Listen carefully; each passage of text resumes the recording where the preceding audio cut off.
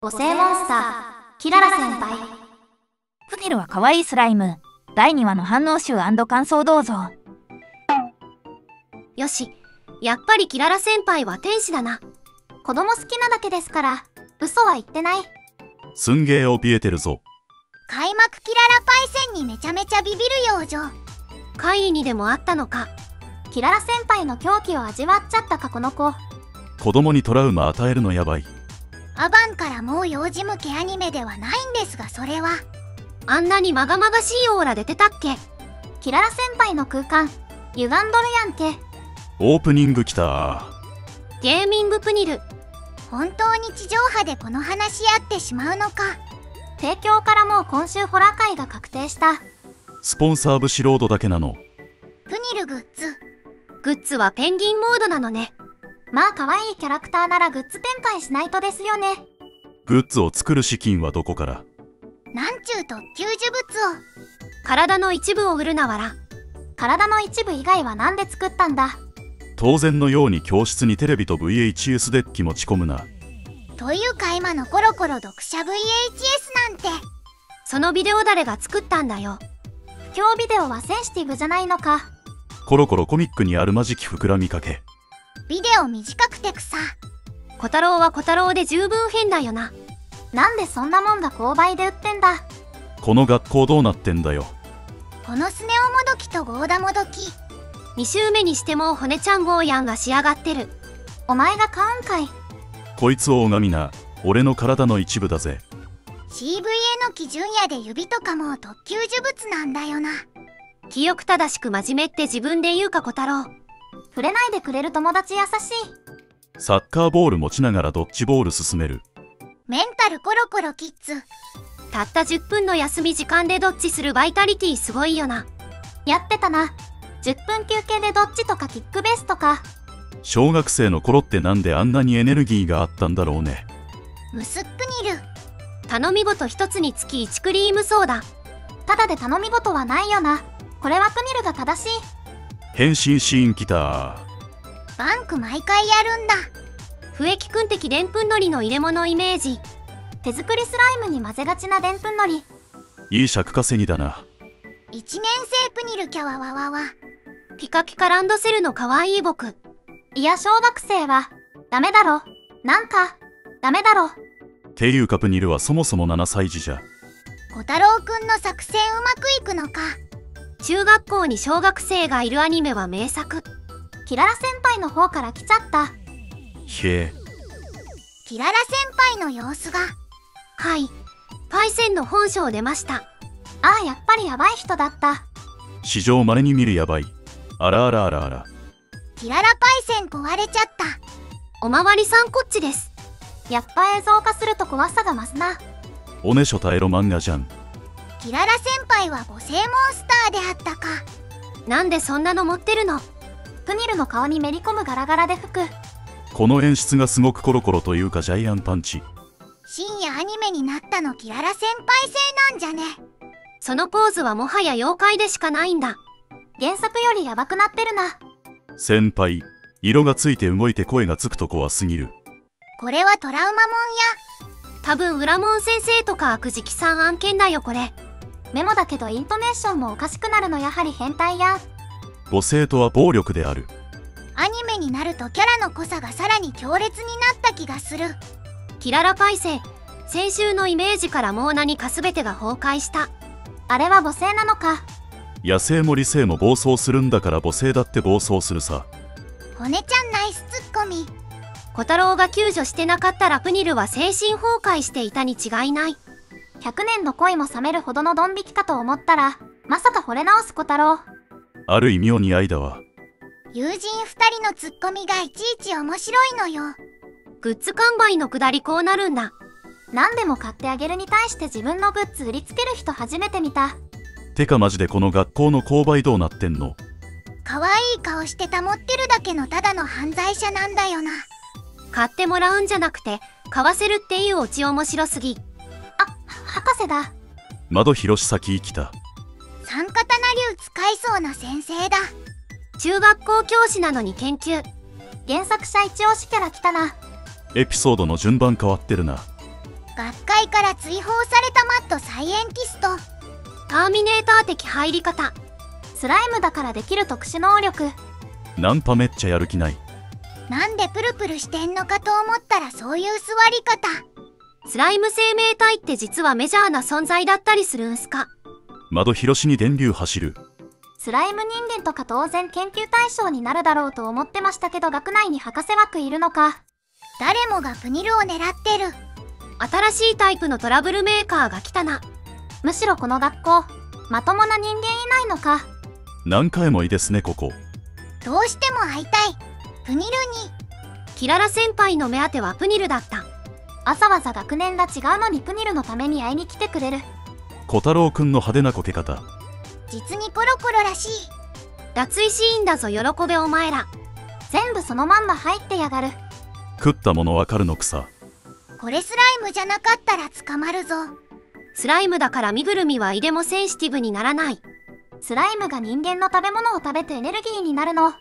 急なコロコロ的下ネタ要素。うんこれはコロコロひり出しあーな明かしたな明かした。ひどい言いようだな小太郎くん。泣き顔可愛すぎる。食い物の恨みはでかいからね。シンプル絵柄だからか作が崩れないし細かいカットで見せてきよる。弁当ないと聞いてなぜコロコロが出るのか。ナンパくん最高すぎるだろ。宣伝はしっかりするスタイル。プニルちゃんって家族公認なん。結構レアな両親の登場シーン。小太郎の部屋ぬいぐるみいっぱいなのじわるモブがジャイアンとスネ夫にしか見えん。このボーダもどきとスネ夫もどき完全にスライム洗脳されとる。先生に捕まってたプニル。監禁プニル。壁英知なことするのか。ナノマシンではなくゲルロボットなのか。ここ社畜がよく使うスクショのとこだ。この手のマッドサイエンティスト。学会から追い出されがち。会費払ってないのかよ。単なる金欠じゃねえか一番リアルな学会追放理由や名や会費を払わない人は追放されるんや。勉強になったな。いいから学会費を納めろ。いきなり細かく切るなよ。何気にすげえ猟奇的なこと言ってるのよな。プニルもっと実験台にされろ。ねえこれ何のアニメ？おいしんやアニメだぞ。スライムの素材注入されてるプニルの顔がエチ。コロコロじゃなかったら普通にマットなシーンちょっとエチエチすぎません。ここでさて作るか。タコさんインナーですやん。目印に食べ物を落としていくヘンゼルとグレーテルスタイル。手がかりそれかい。食われた弁当をきれいに集めたな。スライムに砂鉄いやどう見てもジュースじゃないやろ。学校の備品を勝手に飲むな。学校の備品を勝手に使ってる人。ナンパ磁石遊びしとる。ここの流れ変えたんだヒロシ登場会と悪いプニル会合体したか。オリジナル構成ありがたい。悪いプニル来た。庭にして闇落ちフォーム。スライムが砂鉄を取り込んだからってそうはならんやろ。自生流体フォームかっこいい。庭で出してよい携帯じゃないんだよ。キララ先輩とナンパのツッコミゆるいの好き。性癖盛り込みすぎだろ。プニルちゃんは悪い子スライムになった。悪いプニルのせいかわいすぎるなるほど。って何がなるほどなんだよ。貴重なバトル鉛筆が。なんて凶悪犯罪よ。バト円削られるのは泣いていい。小学生時代にこれやられたら多分殴り合いの喧嘩になるな。今の子ってバト円やってんの。っていうか今バト円ってあんの。深夜帯を全力で生かした出せない更衣室の着替えシーン。トイレでこしてるのは普通だろ。トイレ以外でする方が悪いだろスネ夫と正論で草。こういうところコロコロらしい。悪いことの発想が7歳児。犯罪のレベルが小学生の域を超えない。博士の恋が。今のところ博士だけやな被害でかいの。博士だけボコってるあたり相当恨んでるな。己を受け入れれば楽になる。急に的確な精神攻撃をするじゃん。やめろ。本物には手を出すな。死ぬぞその人元からある意味結構な極悪人だぞ。急にアップの口の作画が良くなるキララパイセン。これやばいやつだ。解放しちゃダメなやつ。キララ先輩その覚醒カットはおかしいだろ。やっぱそうなったか。母性の化け物がエイパートぶりに誕生してしまった。化け物には化け物をぶつけるんだよ。すげえ空飛んでる。悪いプニルを母性でハグする。ゼロワンからオーズみたいな話になった多分先輩ならオーズの器になれる。毒には毒キララパイセンの強烈な欲望がプニルを元に戻したか。これが人格排泄というやつなんですか。悪はより大きな悪に倒されるのだ。今日はキララ先輩に一本取られましたな。ここのイケメンムーブ好きスライムだからバラバラになったわら。ちゃんとオチを用意しておくギャグアニメの鏡。どこに足つけてんだよ。くっつけ方が雑すぎる頭に片足生やしてなきゃいいシーンなんだけどな。対戦は止められないキララ先輩やっぱりアニメになったらヤバすぎるわブロッケンマンになっちゃうよあれを反抗期を捉えるのくさ。なんでお前はそこで勘違いすんねん任せてもいいっていうかプニル小太郎の所有物だし祝日にこんな話やってよかったんかキララ先輩、あらゆるトラブルを収束させるジョーカーになりそうですね。ともあれ一見落着ということで。嫉妬プニルかわいいな。面白くてあっという間だな。今期サイクニカはエンディングきた。これで画面4分割されてたら完全に D4DJ アニメエンディングだった。エンディング週替わりではないのか。やっぱりキャラ声のママード楽曲を歌えるのおかしいって。マジでよくこの声で歌えるわ。なんだこの次回予告。予告が予告をなしてない言ってる意味がまるで意味がわからん次回予告。規制しか聞こえてこないんですけど、対戦のうなり声だけで終わってくさ。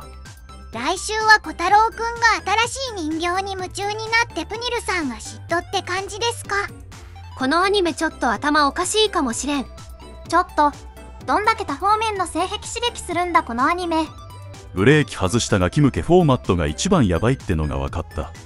みんな狂ってるのがボーボボーを思い出すこれは日朝とかコロコロ本誌は無理ですわ。